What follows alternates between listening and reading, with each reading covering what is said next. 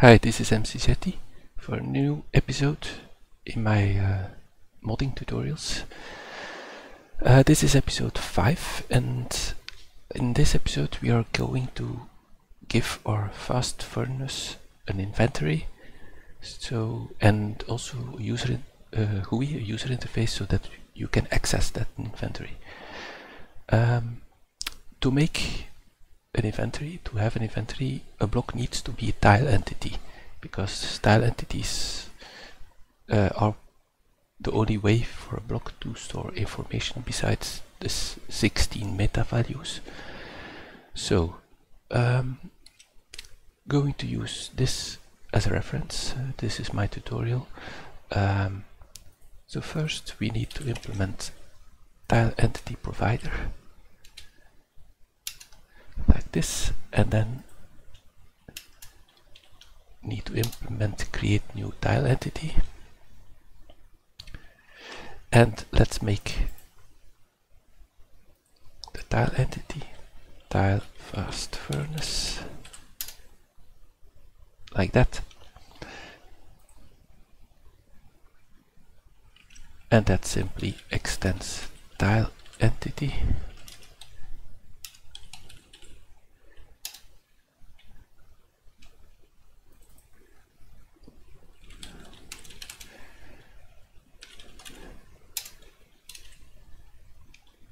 so that's basically it. So uh, that couples the tile entity to the block. But we also need to re register our tile entity and that we can do here. So uh, common proxy.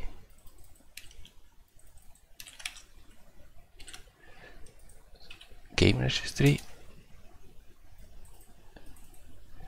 tile fast furnace. My mod fast furnace. So now we have a tile entity. Every time a furnace is placed in the world it will get uh, this tile entity. Um, how do we attach an actual inventory to it. You can do this, uh, the best way to do this is using capabilities um, like this. So let's copy this part.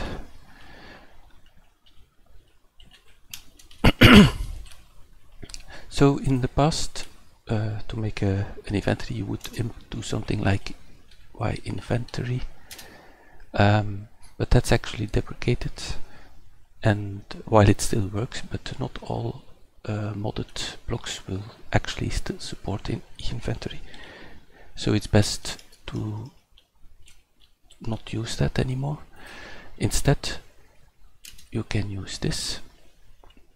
Um, so here you say how many slots you want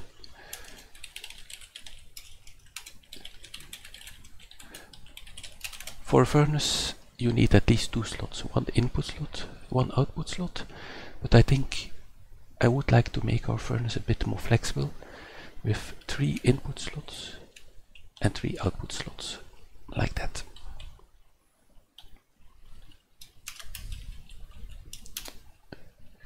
So this is our item stack handler. Uh, and it will be it will hold our six uh, items. And one special thing you have to do here is uh, whenever you overwrite on content content changed so that whenever uh, something in that inventory changed the parent tile entity is marked dirty. This mark dirty is important. It's for tile to say that the data is changed and that it has to be persisted. If you don't call this, then there's a risk that uh, your data will be lost uh, if you don't uh, if you make changes. And for example if new items are put in the inventory and you don't call this then it might not be saved when the world is saved. So that's important to, uh, to do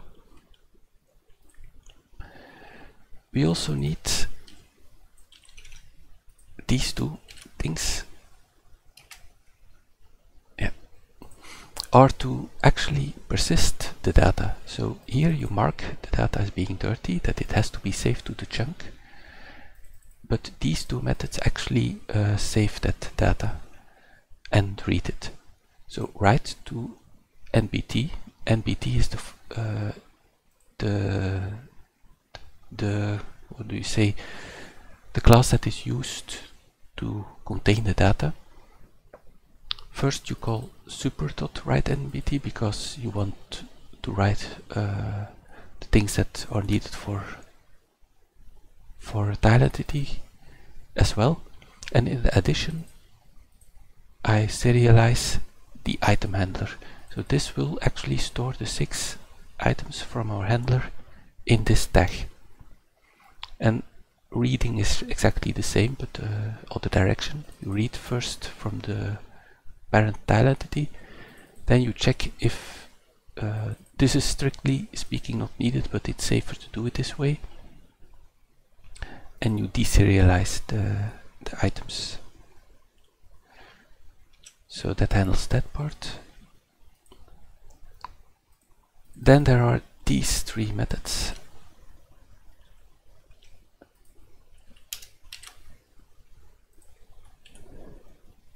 And let's explain what's happening here. First get all the imports. Yeah. Um, actually can interact with is probably is actually not called um,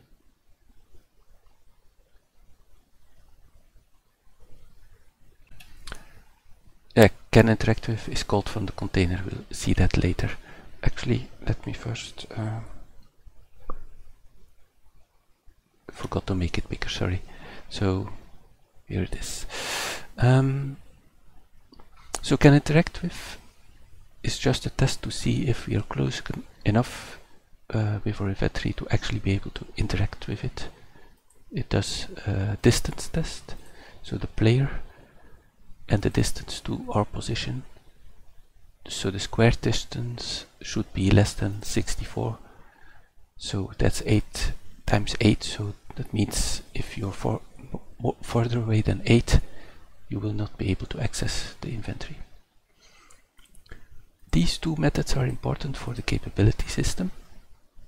Basically you say uh, that this inventory, this block, this tile entity has item handle capability and then you return true. If another capability is requested, you just uh, call the super and it will do whatever it needs to do. Same for get capability.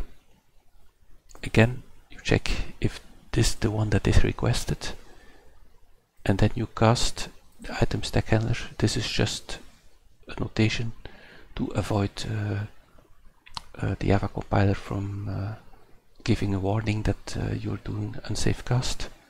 So that's a nice construct to use. so now we have an inventory uh, and in a block but there's no way to access it yet. It doesn't have a user interface, so there's no way to see that it actually works. So now we are going to do that. Um, yeah, so for that we need a few new things. Uh, so that's the tile entity. We need container a container is what is used to communicate uh, the actual inventory with between the client and the server. Um, so container is actually something that's needed for the GUI so that it knows which, which items to display and also the other way when items are moved in the inventory in the GUI it will transfer it will communicate to the server.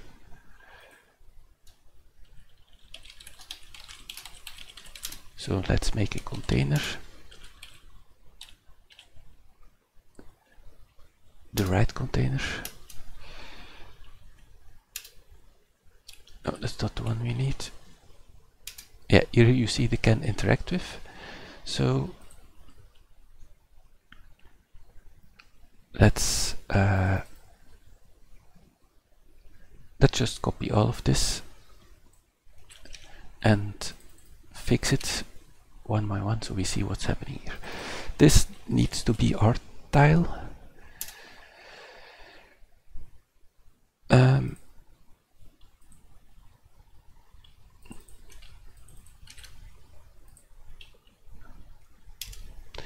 so that's the player inventory inventory and of, of our uh, inventory. So basically, uh, whenever a container is constructed on a GUI for uh, or most GUIs, you can see the contents of the block you're interacting with, as well as the player inventory. So that's why this is here. So we remember the tile entity, we add our own slots, and we add the player slots. So add player slots from the player inventory. Um, new slot like this. So here we add the slots uh, from the player, so three rows, nine columns, and the hotbar. So this is the standard layout, but you can uh, change it, this if you want, if you want uh, the player inventory to look a bit different. Here we add our own slots. So first we get the item handler capability from our tile entity. And we add slots. Slot item handler is a special uh, subclass of slot that knows how to get items from the item handler, from the capability. And we just add them here.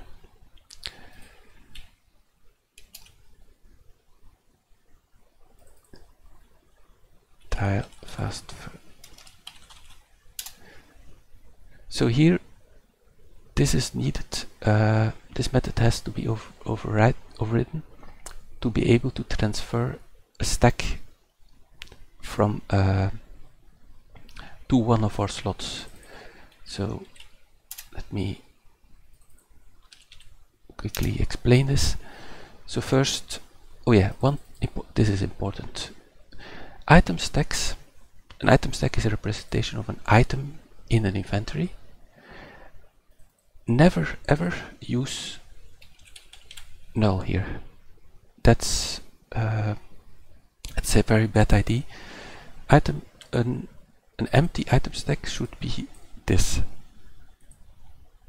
If you try to put null in various uh, item stack inventories, you will get problems. So don't, don't do it.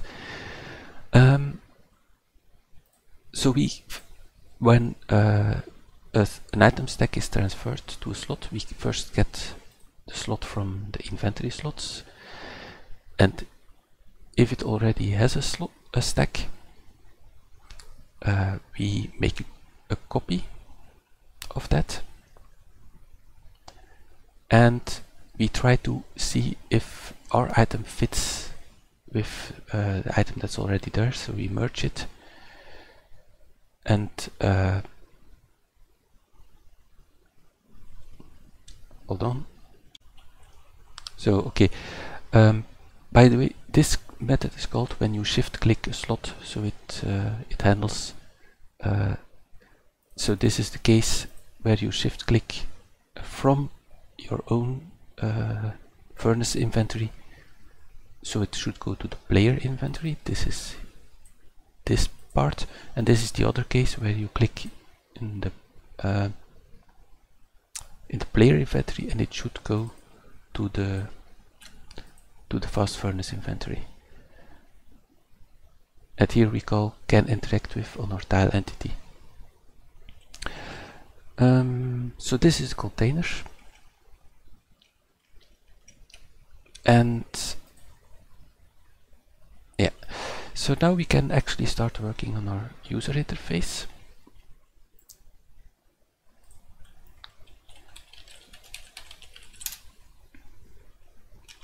And for that we extend GUI container.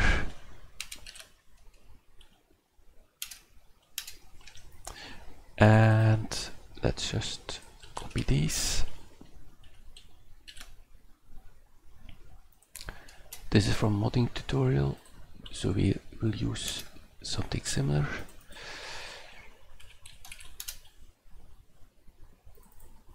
Fast furnace like that. Tile fast furnace. Container fast furnace like this.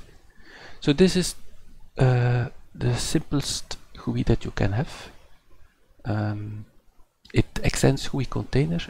So that means it already knows how to handle in the inventory slots. And to do that it will use the fast furnace uh, container. Let's steal a texture from uh, a modding tutorial.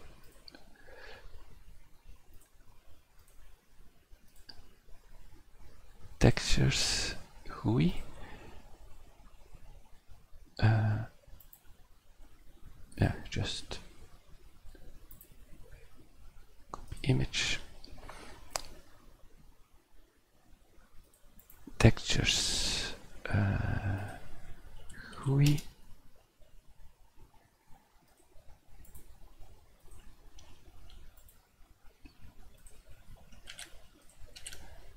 fast furnace. This is perhaps not the best way but it's easier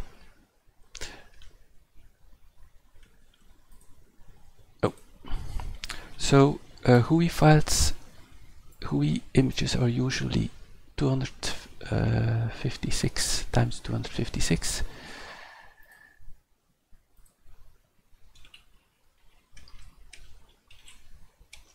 So let's resize this. Uh,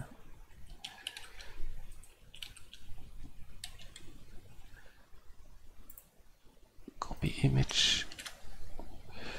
So let's change this a bit. I want, um, oh, let's do it different. Let's take these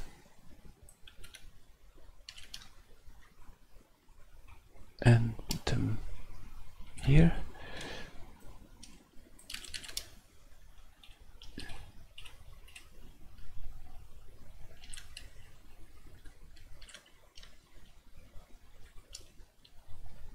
Like that. Um,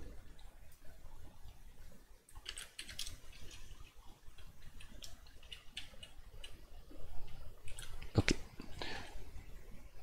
Actually, I could just have used flood fill as well. Uh, uh, now realize.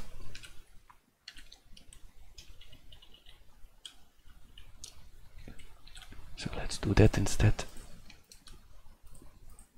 Okay. So these are the input slots, these are the output slots. And let's move this a bit higher. Okay.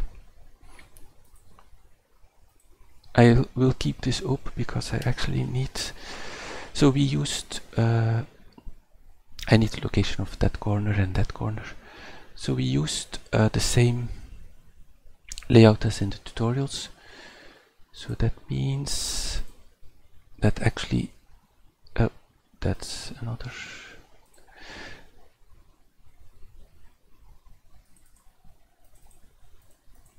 Yeah, so that means that in the container we can keep this, but we do have to change this. Um, let's change this a bit.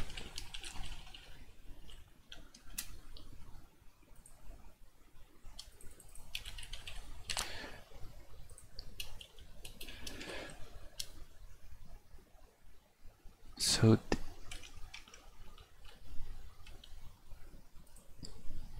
the coordinate of this point is, uh, so you see this corner is at 9 969 970 okay so yeah and then this 925 let's try it out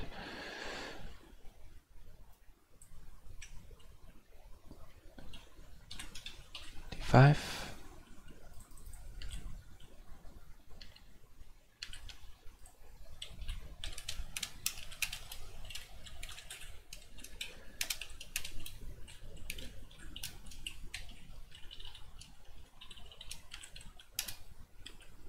and then the other slots go here those are the output slots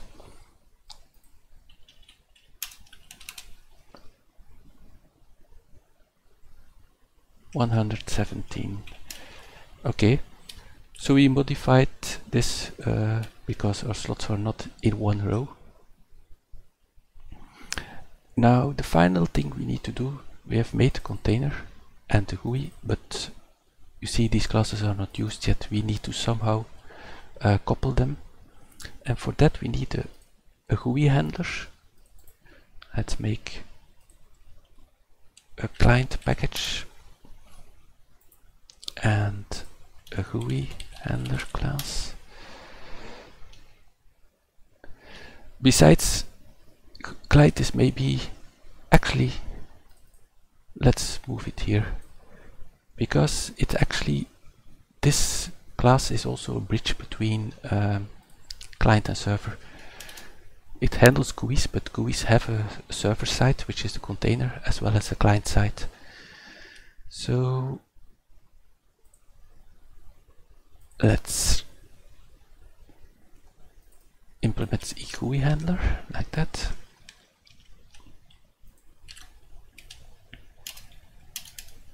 and it has two elements, a, server element and a client element. Um, yeah, let's just uh, copy paste this.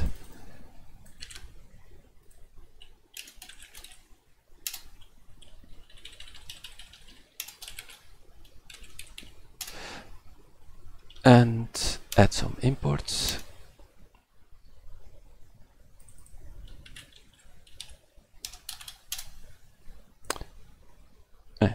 container tile, tile.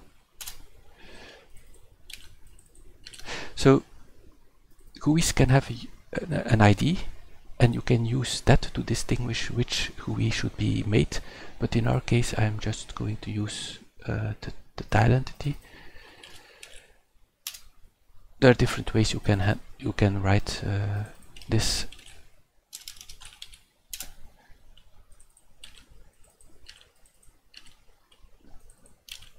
So what's happening here? Whenever a GUI is opened, uh, on server side this will be called and on the client side this will be called. Server side what you do is uh, you check the block for which GUI is opened and you see if it's a, the block you want and you open, you create container with the player inventory and your fast furnace. Um,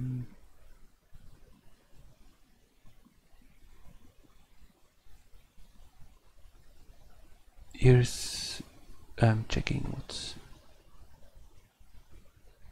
uh, container tile entity.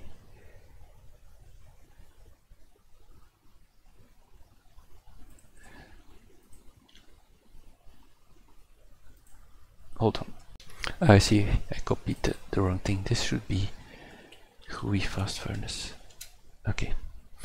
Thought there was a bug in in the modding tutorials, but it's just the wrong paste here.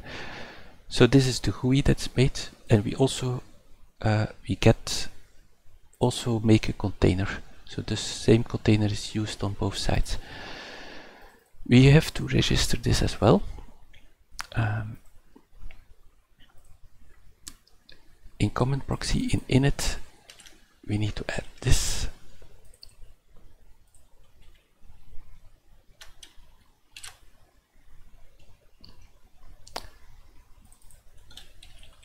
like that.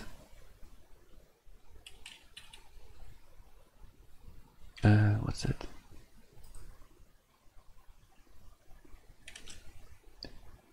Uh, which should hold on.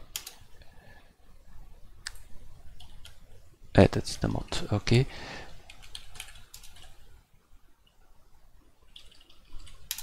So this is the first time we actually had to give to use that instance that was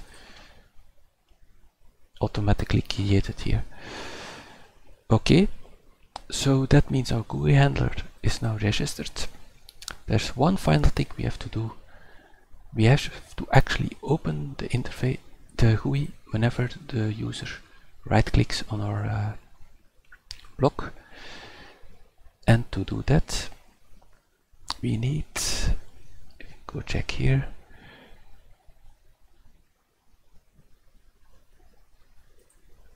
on block activated.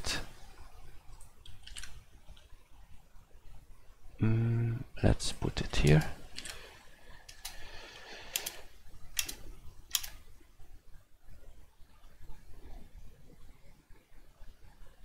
Apparently things have changed. Activated, let's see. What am I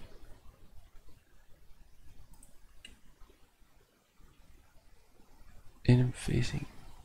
And oh yeah apparently there's still again a problem in the modding tutorials. But that's okay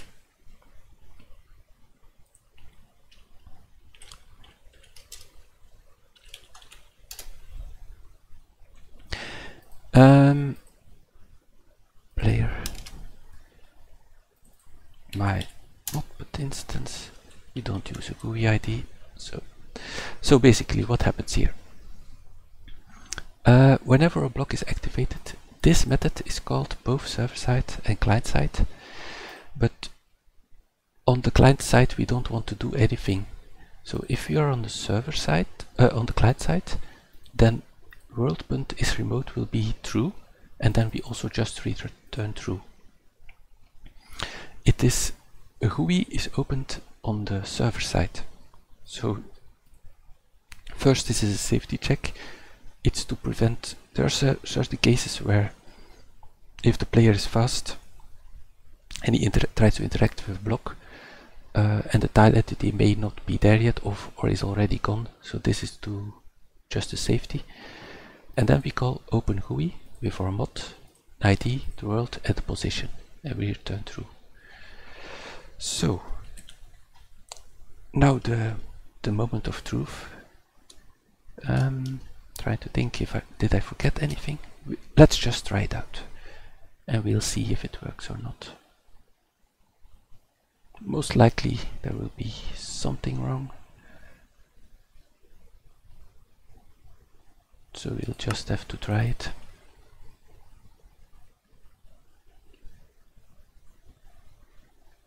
Let's remove this one first be sure. Okay, so so far so good. You, So you see the player inventory is working. Uh,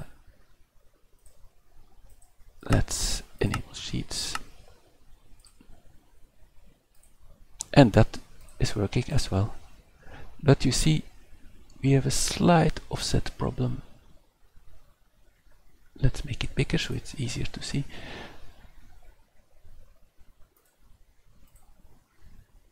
yeah it's I need to lower the slot one so you see.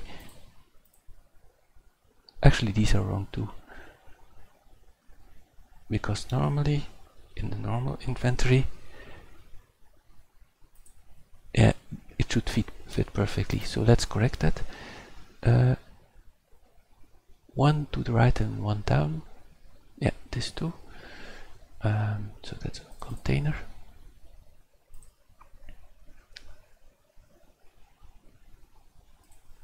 one to the right and one down.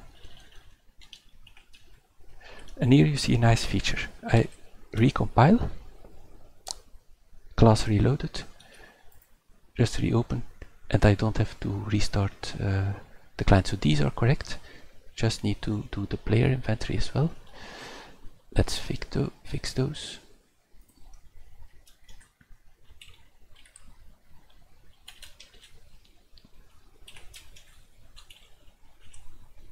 Recompile.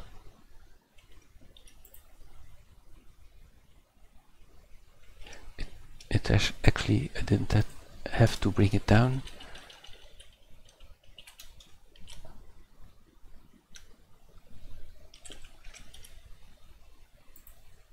Yeah it's perfect now. So you see our inventory is working and it also keeps its inventory. And let's to be sure for example see what happens if you put a hopper on it.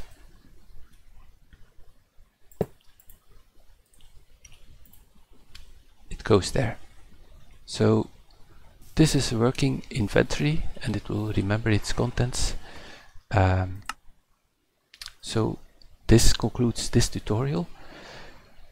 In the next tutorial we will try to make uh, the furnace work, restrict what can be in the slots and actually make it do things. So